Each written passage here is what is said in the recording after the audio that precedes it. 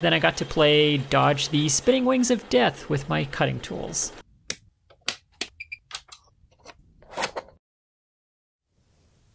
Hello Internet, my name is Quinn and this is Blondihacks. Today we're finishing up the Toolmaker's clamps. This is part two. If you missed part one, I'll put a card up there at the top for you to go watch that video first. Okay, let's go.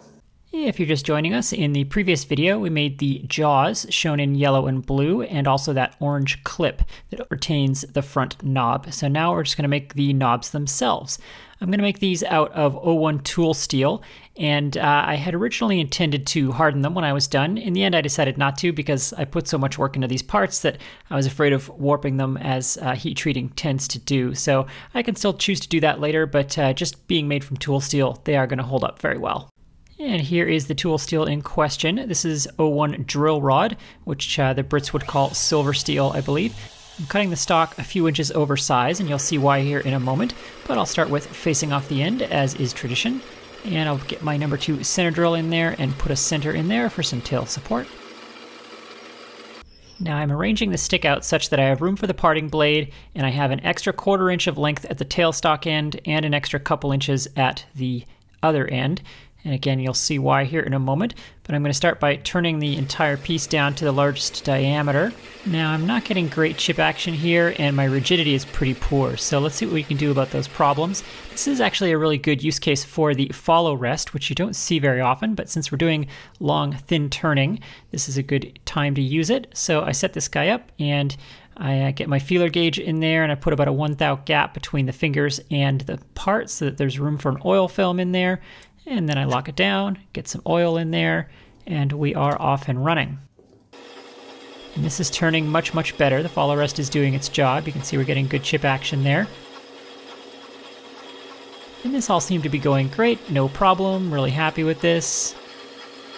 And then I ran out of space. Luckily I noticed this before it hit the chuck, but uh, yeah, there isn't room here to use the follow rest with the amount of material that I have. I did make one effort to see if I could pull the stock out far enough to fit the follow rest in between the end of my part and the chuck, but it just wasn't going to work out. So instead I ditched the follow rest and just focused on doing lighter passes, which honestly worked fine. So we should be on our largest diameter now, and I'm just uh, checking with the micrometer in multiple places because I'm frankly expecting to get some sort of bulge in the middle here as the stock flexes away from the tool, but actually I didn't. Uh, we're within a half thou all the way down the length, so that's good news. The light cuts are doing what I hoped they would do. Next I'm going to get some Sharpie on there so I can mark the largest diameter change, which is where the base of the knob meets the threaded area and that threaded area has to be turned down all the way down to the diameter for a number 12 thread. And I set up an indicator on the carriage there so I can end up with a nice shoulder at the end. If you want to know how I do this, you can see my turning to a shoulder video in the Lathe Skills series. Now as I turn this down, something I haven't mentioned yet is why I left a quarter inch of extra length at the tailstock end, and that's so that there's room for the center there, and then when the part is done, we can face that end off and not end up with a center in the end of our thumb screws. Now when turning tool steel, which turns hot because it's tough stuff, here's something you really got to watch for. Do you notice anything I miss here? Do you see it? Yeah, the part's spinning, but the tailstock live center is not. So what happens here is the tool steel gets hot, it expands, it pushes the tailstock back a little bit because the clamp can't resist the expansion of steel, and then as it cools and shrinks again, now the tailstock is unseated. And it's very easy to not notice this, but the effect of it will either be chatter or more commonly you'll just end up with a little bit of taper in the part because the tailstock wasn't firmly seated. Okay, this is our finishing pass now.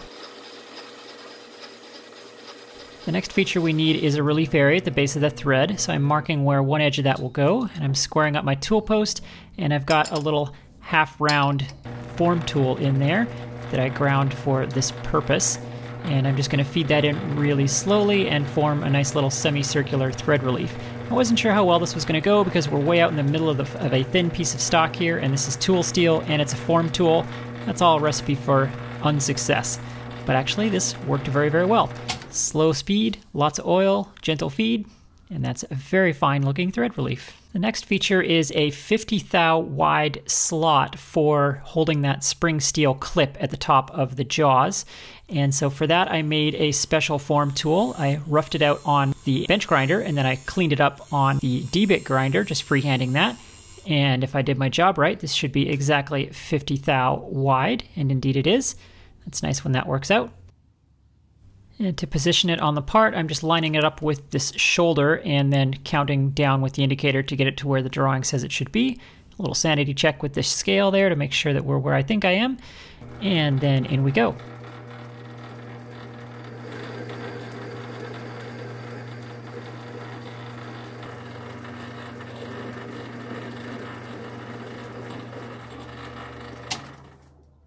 Then I'll come in here with a chamfering tool and break those corners. So I've got a thin slot there, which conveniently I can do both those edges at once.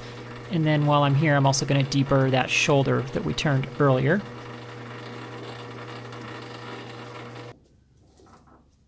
I think that came out quite nice. So the last feature that I need to do is the knurling on the handle of the thumb screw. And for that, I'm going to bring in my knurler, and this is my preferred type of knurler, the scissor type, which clamps from above and below rather than the push style where you're pushing straight in on the work. The latter is quite hard on the spindle bearings in your lathe. And as you can see, this was recently used for brass, and I should have cleaned out the brass before doing this, but yeah, it'll all come out in the wash.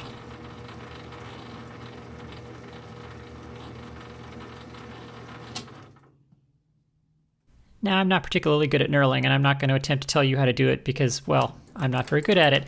The quality of the knurls on the four knobs varied quite a bit, but uh, here's the uh, the best of the four anyway. I'll uh, pull a YouTube here and not show you the other three, which don't look nearly this nice. So this nearly completes the front knob for one of the two clamps, and so I turned the other knob the same way for the second clamp, and then the rear knobs I brought to the same point, but the rear knobs need an extra couple of features. So I'm going to do that next. The rear knob needs a groove for an E-clip instead of the spring clip that's in the knurled area. So I've got an E-clip grooving tool that I've made previously. It's 30 thou wide, and I just line that up with the indicator relative to the shoulder once again. It's worth noting that I'm using the shoulder of the knob as my datum for locating all of the features on these thumb screws, and I'm not using the end of the part like you might normally do, and that's because, as I said earlier, I have roughly a quarter inch of extra material at the end of the part so that I can face off where the center was drilled, but that's not super precise down there, so by using this shoulder, I know that the thumb screws will come out properly dimensioned within the extra stock that I have at each end. Let's see if my E-clip fits now on that groove. And, ooh, it does indeed. A well-fitting E-clip is extremely satisfying.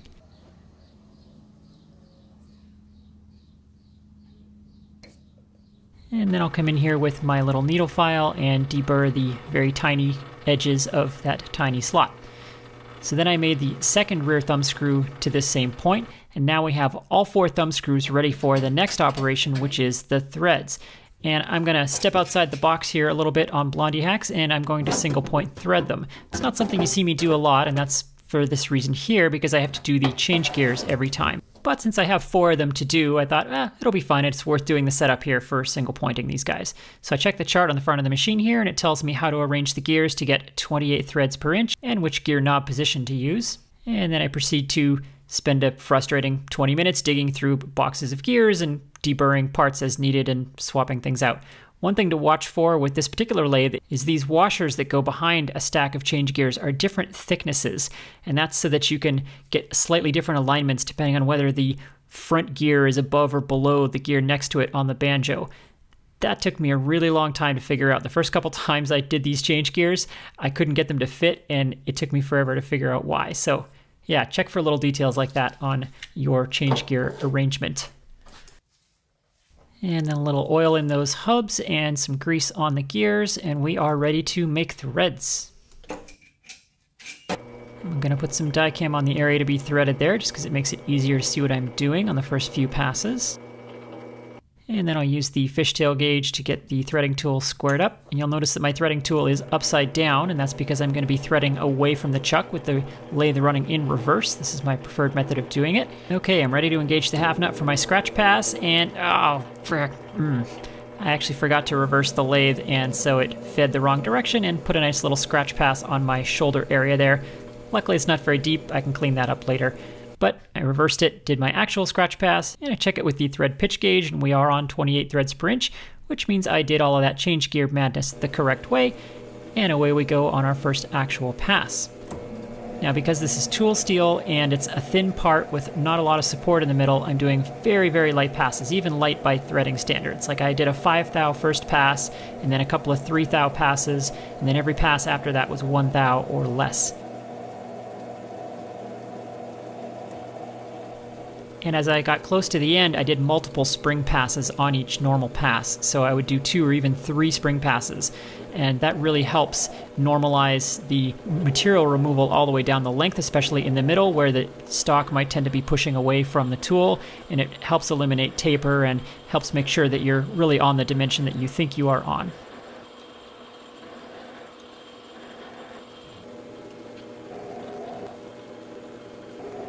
So after a few passes, we should be close. So I'm going to do a test fit. And here's the jaw that's going to be threading on. And well, here's something I didn't think of. I left that extra quarter inch at the end, but I didn't thread it all the way to the end. The whole point of that was to give me room for the center and a runout area for the thread. So that area doesn't fit through the threaded hole, of course. So I had to reduce the diameter of it so it would clear. And uh, I used a file for that because that has very low tool pressure and I didn't have much to remove.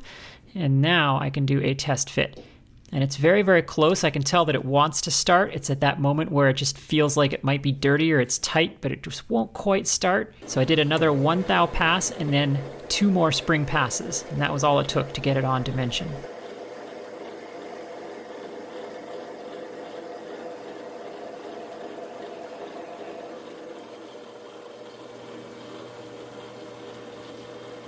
And now it threads on there beautifully. There's nothing quite like the fit of a single pointed thread. They're so smooth and nice. I did the other three knobs the same way, but uh, on those I did actually reduce the diameter of the end there with a grooving tool before doing the threading.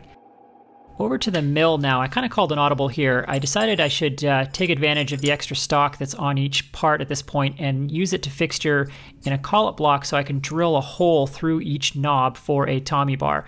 I had uh, not originally had that in my drawing, but I decided, you know, anything that clamps has the potential to get stuck, so I'm going to regret it someday if I don't put a Tommy bar hole in there. So I centered it up with an edge finder, and then I measured in from the end of the shoulder, again, that's my datum, with the edge finder to place the center drill. Now spotting a hole on a knurl is a little tricky because the knurl wants to make the, the drill jump around, so I just did it very, very carefully. It would have been also a good idea maybe to just mill a flat spot with an end mill first, but this worked fine, honestly. And in the future, I would probably have drilled these holes first before the knurling. But uh, this worked out just fine. So a little machinist jack in there for some support against the drilling forces, and just drill that through.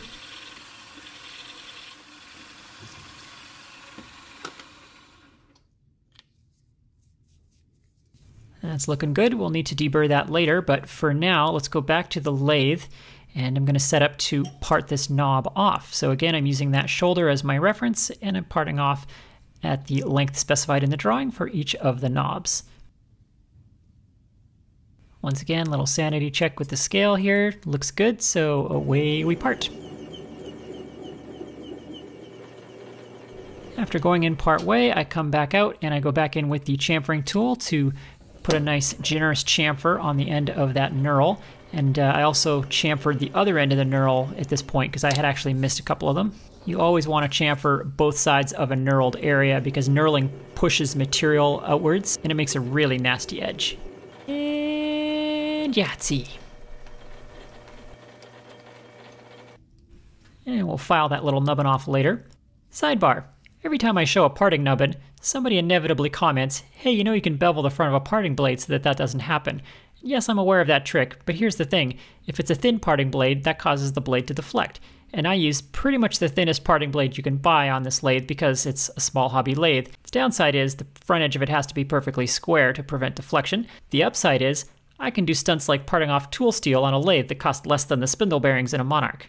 The last thing we need to do is face the end off where the extra stock is for the center south of the threads. So I'm grabbing a chunk of aluminum from the junk bin here and I'm going to make a little device to help do that. So here's making this part all the way from start to finish, not something I often show. There's no edits here, and this is of course normal speed. Now while I'm making this, see if you can figure out what it is.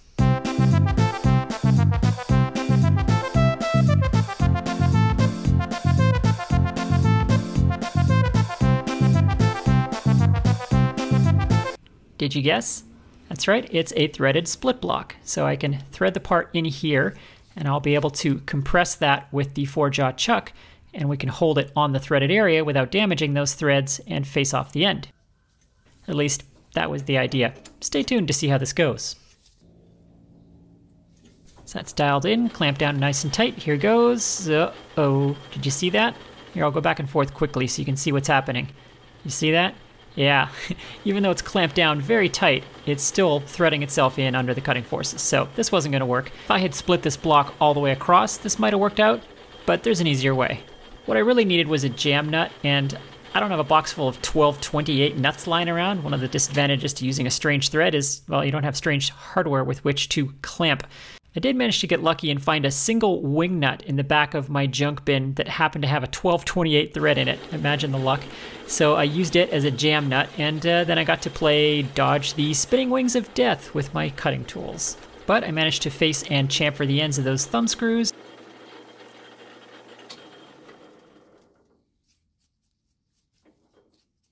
This block was definitely not a complete waste of time. It was still a nice easy way to swap from one part to the next and hold them in the four jaw without risk of damaging the threads.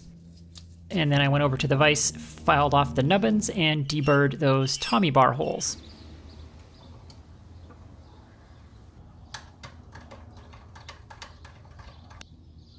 I'm quite pleased with how that came out. Very nice.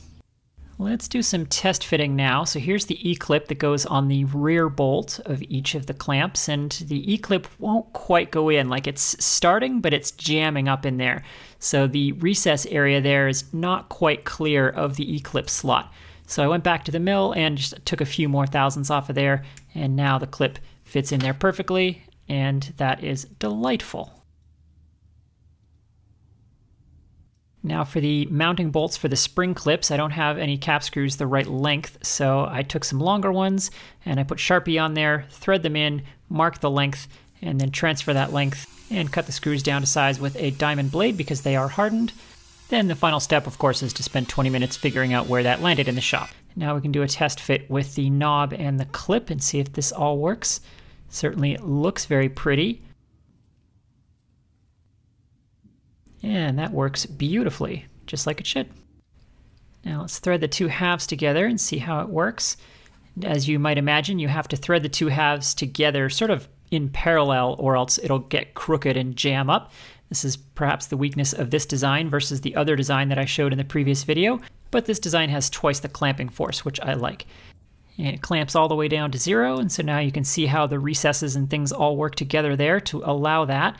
So that is very lovely indeed. We can clamp a piece of paper with this thing if we need to. Now on to finish. I'm going to clean everything up with acetone, get rid of any traces of oil or grease on there. And I'm using Jack's Cold Blue for this, which works well when the parts can be dunked. So the degreased parts are dunked and they're just left in there for a few seconds. Pull them out, rinse them off in some water to stop the reaction, dry them off, and then a light buffing with a paper towel to get the excess blackening off of there, and then a little bit of oiling will seal them up nice and good for life. Looking good.